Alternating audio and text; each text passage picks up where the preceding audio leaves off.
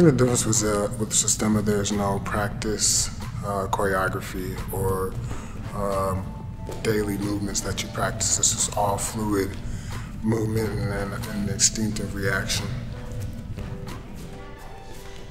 I learned to use relaxation as a tool and not just a guess state of mind. It's a way to move and react to movement. Become almost uh, feather-like in movement around whoever your opponent is or whatever objects you have in front of you. And uh, that's going to be useful when you're facing offensive linemen and tight ends, especially playing outside linebacker. So hopefully it uh, pans out really well.